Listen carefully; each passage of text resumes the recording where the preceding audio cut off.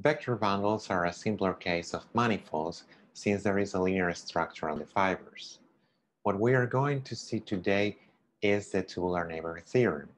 Given any submanifold, there exists a neighborhood of that submanifold that can be interpreted as a vector bundle, indeed as the normal vector bundle.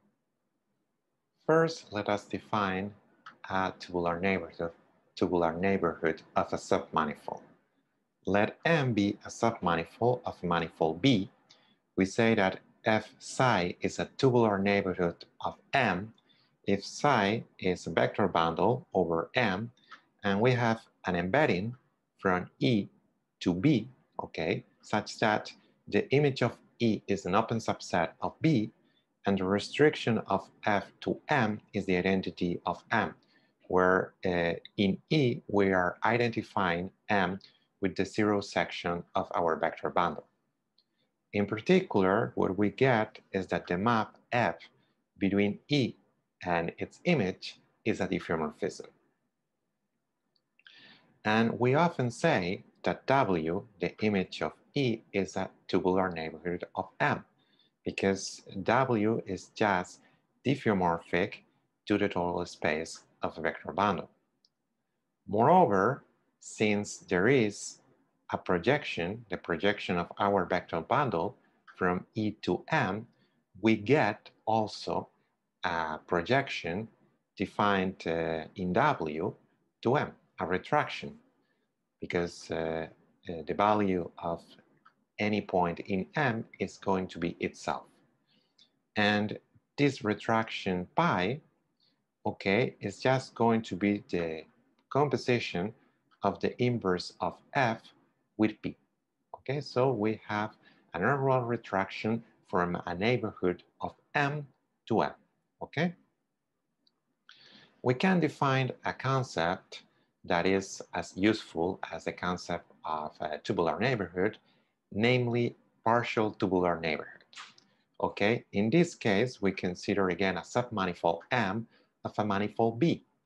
And we say that f psi u is a partial tubular neighborhood of M if uh, psi is again a vector bundle over M, u is now not the total space of our vector bundle, but just a neighborhood, an open neighborhood of the zero section, and f is an embedding from u to b. Again, we are going to require that the image of u is an open subset of b, and as a consequence, the map F between U and its image is a diffeomorphism. And again, we require that the restriction of F to M is just the identity on M. In this case, we are just, uh, what's the connection with tubular neighborhood? The unique difference is, just, is that we are replacing the total space of our vector bundle with an open neighborhood of the zero section the remainder of the definition is the same. We often say that W, the image of U, is just a partial tubular neighborhood of M. And since we have obviously here the projection of the vector bundle defined in U, again, we get a retraction pi from a neighborhood W, which is just the image of U by F, from a neighborhood of M in our manifold B to M which is just, again, the composition of the inverse of f and p. So uh, we get more or less the same objects than we got with uh, uh, tubular neighborhood. And indeed, it is very easy to see that if we have a partial tubular neighborhood, then we can construct a tubular neighborhood, okay? Now, uh, after defining a tubular neighborhood, and partial tubular neighborhood, let us show that any submanifold of Rn has a tubular neighborhood, okay? Indeed, we are going to show that uh, it has a partial tubular neighborhood. The first thing that we are going to consider for the proof is the geometric normal bundle.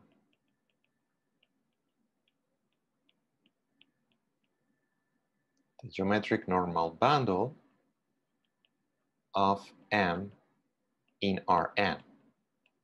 This is possible because in Rn we can consider the standard inner product. okay? Very good. So uh, what we can uh, do now is defining a map from psi to Rn. From, indeed, it could be from the total space of our vector bundle to Rn. And here we are going to consider xu. This is just notation for a vector, uh, a tangent vector u in, in psi x, okay, in, in the fiber of the geometric normal bundle.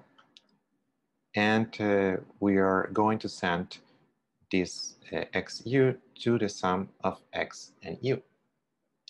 This, for instance, if our submanifold is infinity, uh, then this is a infinity map. Okay, what we have now is that the restriction of f to m, where we are again identifying m with the zero section, it's just the identity map. And so, as a consequence, the differential at a point x0, a point of the zero section, of f restricted to the tangent space of m at x is just the identity. Okay? But uh, we also have that uh, the differential of this f uh, at x0 is the identity over the fiber of our vector bundle. And this map over here is uh, just linear in U. So what we get is that the differential of f at a point of the zero section restricted to the sum of these spaces is going to be the identity 2. Okay, but this is just the tangent space to the total space of the vector bundle at the point, uh, okay, at the point x0. Okay, this is the identity. And the reason is that this space over here is the direct sum of these two spaces, okay? But now, what we can actually notice is that this, uh, uh, let's say the, the tangent space to the total space of the vector bundle at x0 can be identified with Rn, okay? And as a consequence, we get that this map over here, okay, it's indeed, yeah, it's indeed the identity, the identity map of Rn. And so we can use the inverse function theorem, okay? Uh, what we are going to have is that uh, F is indeed a local diffeomorphism in a neighborhood of M.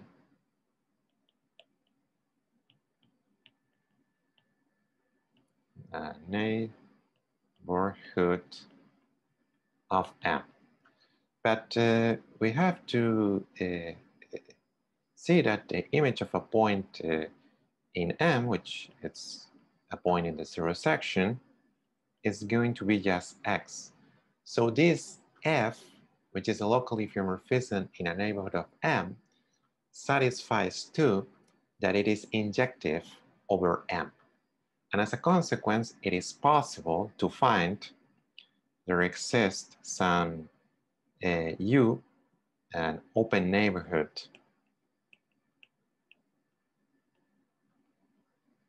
of M uh, in the total space of our vector bundle such that the restriction of F to U is indeed an embedding. Right? And uh, that's what we wanted to prove. So we have actually a partial tubular neighborhood, okay? Uh, here f is injective over m, and, and we can find this u, which is a small open neighborhood of m, such that f continues to be injective, and indeed a little bit more than that is an embedding, okay? So we proved the existence of a tubular neighborhood for a submanifold without boundary of Rn. Now we are going to generalize this result to a submanifold of B, of any manifold, where uh, these two manifolds, both M and B, are indeed manifolds without boundary. In that case, we always have a tubular neighborhood.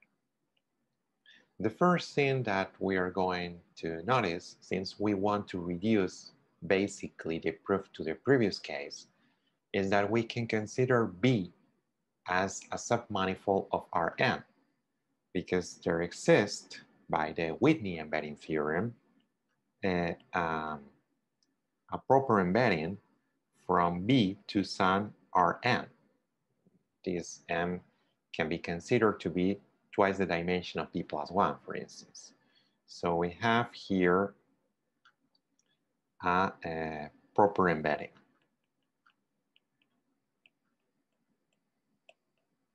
And as a consequence, we can consider B as a subset of Rn. Now we have an inner product in the tangent space of Rn, obviously the usual inner product, and that's going to induce inner products in the tangent spaces of B and M, okay? So we can consider now psi being uh, the geometric normal bundle of M in B. And now we can define essentially the same map than for the case where B was Rn. Here we have uh, psi. Okay, here we have Rn. And here we are sending xu to x plus u, right? What happens is that uh, we already know that the tangent space of E at the point x0 can be identified with the tangent space of B at x. And exactly in the same way uh, that uh, and, and this space can be considered obviously as a subspace of Rn because uh, uh, B is contained in Rn. And by repeating uh, the proof of the previous case, what we get is that the differential of f at a point of the zero section restricted to the tangent space of uh, V at X is just the identity map, okay? How can we use this now? How can we use this now, okay? Okay, let's uh, write here the property, the restriction to the tangent space of B at X is just the identity map, okay? And uh, this happens for every x in M. And moreover, now using that B is a submanifold of Rn, we can apply the tubular neighborhood theorem to B. And one of the consequences of the tubular neighborhood theorem is that there exists a retraction R from W to B, where W is going to be a neighborhood, an open neighborhood of B in Rn, okay? Or W is an open neighborhood of uh, B in Rn. But something that it is interesting is that if we consider the differential of this re retraction at a point x in B, okay? And uh, uh, we consider the restriction to the tangent space of B at X, this is again the identity map because the restriction of R to B is the identity. So in particular, and as a consequence of uh, this result, when we consider the differential of the composition of uh, actually uh, F and R, uh, and R, sorry, at uh, point x0, what we get is the identity map, the identity map of the tangent space of B at X, right? That's what we get.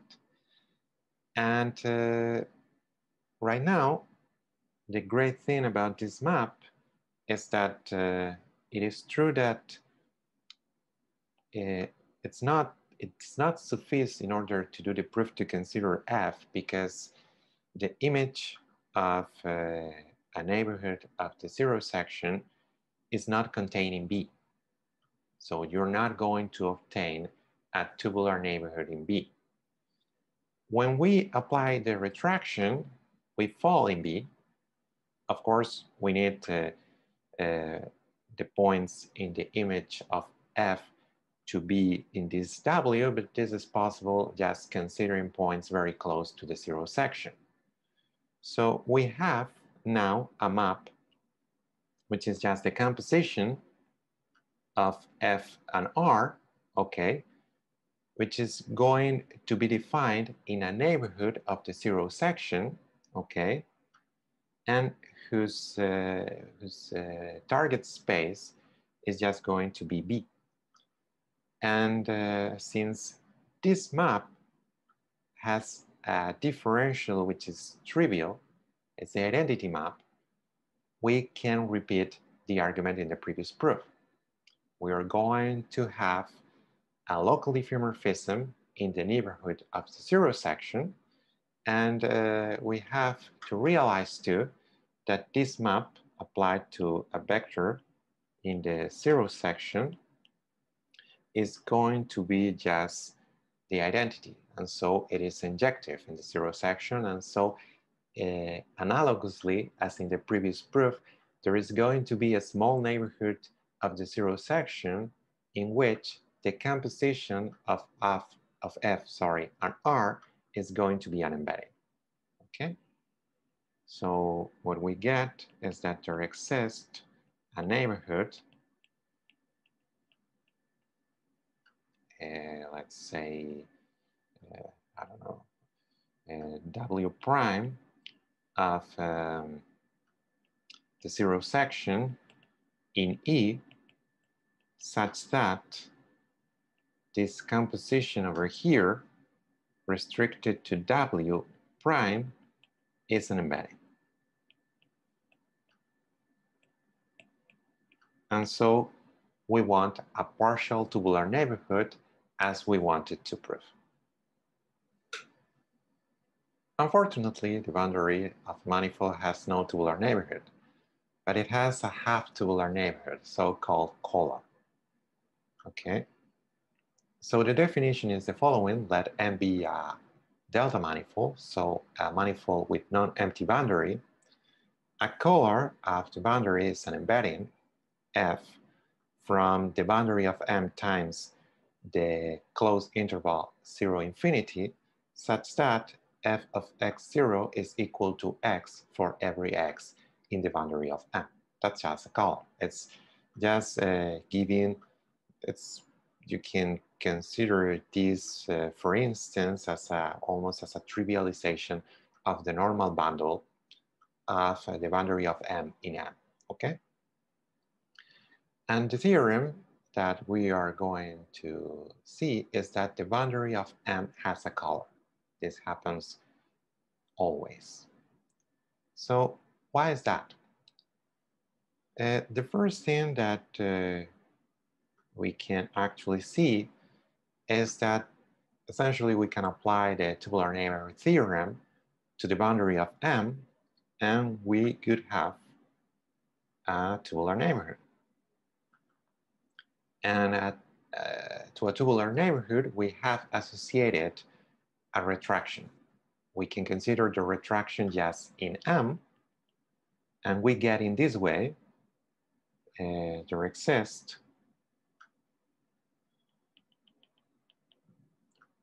a retraction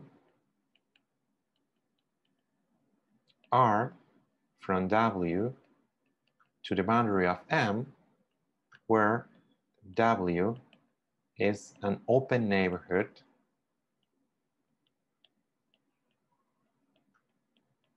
of the boundary of M in M, okay? Of course, the retraction is defined in M, okay? Uh, we already uh, considered an exercise in which we proved that uh, there exists a, a differentiable function if uh, our manifolds are as infinity. It could be as infinity function defined actually in M with values in the non-negative real numbers such that the preimage of zero is uh, the boundary of M, okay, and uh, zero is a regular value. Okay, we have these two maps R and D. And what happens now is that we can consider uh, our neighborhood W of the boundary of M in which uh, R is defined. And uh, we can consider here a map to the product of the boundary of M and the interval zero infinity, which sends a point X and the image of R by the retraction and then G of X. Let's call this map, for instance, F. And what happens actually is that uh, by construction, what we have is that F is uh, an immersion at uh, every point of the boundary. Moreover, at a point of the boundary, we have that the retraction is x and the value of g is zero, okay? So a condition that actually we want for a collar. And uh, now, since uh, this map defining the boundary of M is indeed injective, what we get is that up to consider a smaller neighborhood of the boundary of M, okay, uh, there exists an open neighborhood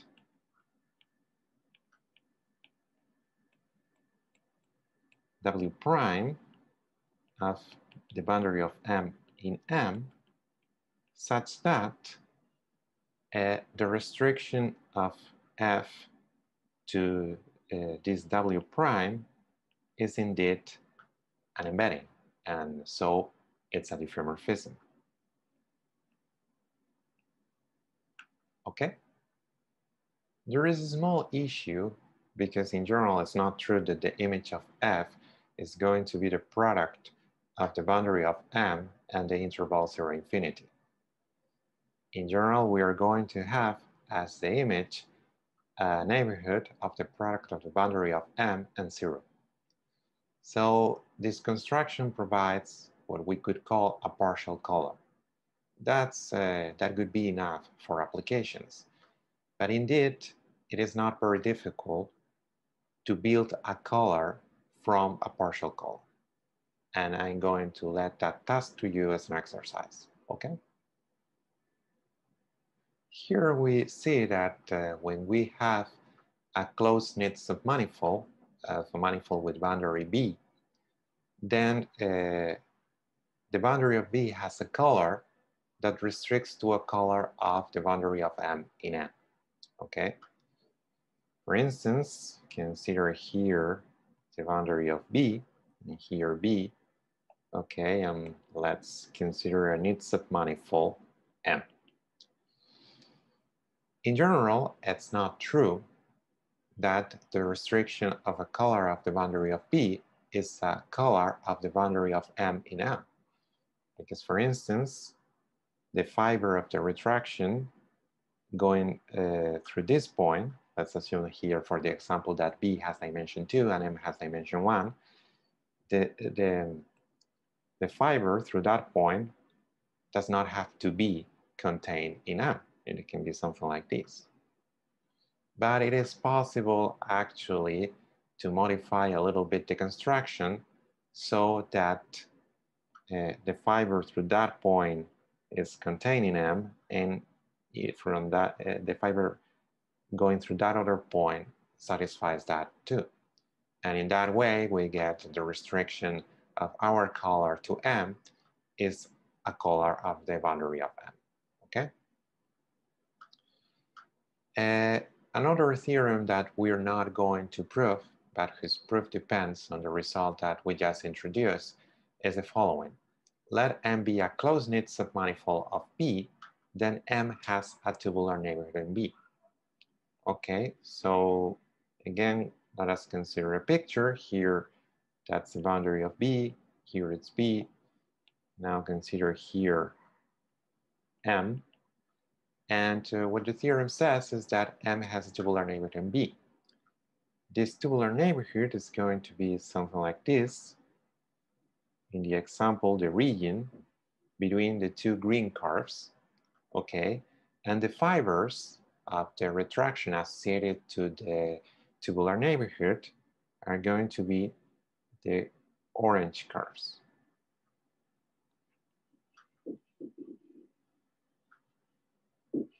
And the issue here, and what makes the construction a little bit more difficult than tubular neighborhood for a manifold without boundary, is that we need that uh, the fibers through the points in the boundary of M have to be contained in the boundary of B. But it is possible actually to consider a construction in which this happens. Now let us introduce this theorem that has a technical interest and will be used when we study the properties of the degree of a differentiable map, okay? So let's consider here two maps, fj. Indeed, it's, I think it's better to consider the indexes 0 and 1 and not 1 and 2. We're going to shift the indexes where the dimension of M is equal to M. So the dimension of the source and target spaces is the same. And we're going to assume that the determinant of the differential at the origin of the composition of uh, F1 and the inverse of F2 is uh, positive. So then we want to prove that F1 is isotopic to F2 relative to zero. What does this mean? Okay, what, um, what we want, what it doesn't mean to be isotopic, is we want to find a map F from a neighborhood of uh, the origin in Rn times uh, the closed interval 0, 1 to m, okay, such that um, here we have the map. And what we want, uh, of course, we can define ft uh, as just uh, ft of x as just uh, capital F of xt. And in that way, we get a family of maps from a U to M. So we're going to require that this map over here is differentiable, first of all. And besides that, we are going to require that ft is an embedding for every t in the closed interval 0, 1. So uh, that's what uh, isotopy means, that the family FT is a part of embeddings. Besides that, we need another condition here because uh, we get uh, this relative to zero, which means that uh, the image of zero is always the same. So in other words, that the image of zero t is always equal to x0 for every t. That's the relative part. Okay, so let us try to uh, find this map F. Okay, first of all, uh, as I said, let us call our maps F0 and F1. We can consider a matrix A0, which is going to be just the differential of F0 at the origin. We consider the linear map A0. Uh, first of all, be before that, we can also consider that uh, uh, M, M is equal to Rn and X0 is equal to zero. Essentially, this is a local theorem, so we can work in Rn and in a neighborhood of zero, okay? Now we have uh, our linear map A0, which is the differential, and the map A1, which is going to be the differential at the origin of F1. The condition over here implies that the determinant, okay, of uh, the inverse of A1 times A0 is positive. That in particular implies that both determinants have the same sign, okay? Either they are both positive or both negative. So they are both in the same connected components, the same connected component of uh, the set of regular matrices, which is an open set of Rn squared. So there exists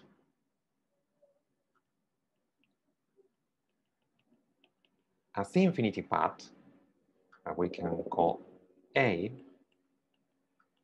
okay, to uh, the linear group such that the value of A at zero is A0 and the value of A at one is A1.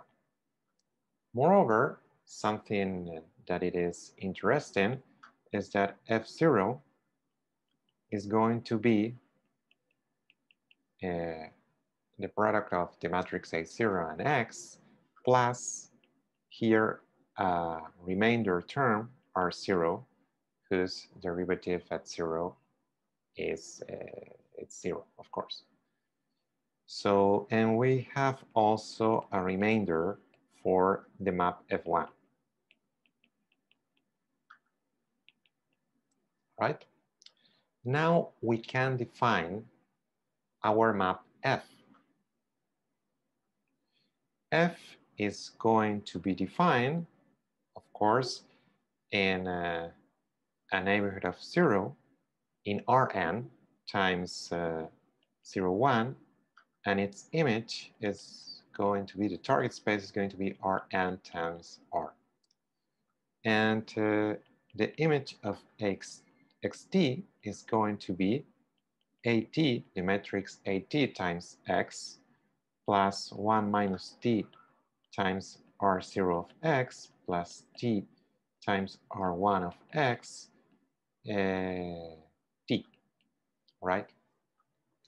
What happens is that uh, what we get is that uh, when t is zero, this is just the map F0. And when t is 1, this is just the map F1. So we have a homotopy, okay, uh, from F0 to F1. What we want to check out is that this homotopy is indeed an isotopy, right? But uh, the second component is always equal to t, so we just have to see what happens with the derivative with respect to x. indeed the derivative of this first component with respect to x. And uh, this derivative is going to be at, uh, okay, at the point zero t is going to be just equal to AT, which is a regular matrix. Okay, this happens for every t in 0, 1. So this fact, together with uh, the property that the second component is just t, implies, okay, you can check that out, that f is indeed the differential of uh, f at point zero t is indeed a linear isomorphism between Rn plus 1 and Rn plus 1. And this happens for every t in 0, 1. We also have that the image of 0t is indeed uh, equal to 0, t, right? So this map is injective over the, the product of 0 and the closed interval. So again, as uh, we have actually considered several times during this lecture, we are going to have that there exists a small neighborhood of the origin in Rn such that the restriction of f is indeed a, an embedding, and in this case, a diffeomorphism. So there exists a neighborhood u prime of zero in Rn such that the restriction to u prime times 0, 1 is indeed, or to a, yes, it's indeed a, a diffeomorphism. But, and in particular, an embedding is an embedding. And uh, it, then the restriction to every fiber Okay, the restriction to every fiber, the FT, is also going to be an embedding. Okay, that's uh, immediate. Okay, that's very, very simple. It's straightforward. So we get what we wanted. Of course, uh, the, the isotopy is relative to, to, to, to, to, to zero, okay? Because the value, when we consider here, the first, uh, we consider f of 0t is 0t, so the first component is 0. Indeed, the, and, and that's uh, what we want, okay? In this differential topology course, we have introduced several techniques regarding differentiable manifolds, the space of differentiable maps, transversality, and vector bundles. What we want now is applying all these tools to extract geometrical consequences. For instance, we want to study the set of differentiable maps between manifolds of the same dimension up to homotopy, the properties of uh, those maps up to homotopy. And also we want to study the properties of the intersection of submanifolds of a given manifold of complementary dimension. And all the tools that we have developed till now could be extremely useful in order to say interesting things. So that's going to be uh, our goal in the next lecture, exploiting all the knowledge that we acquire till this moment. Thank you for your attention.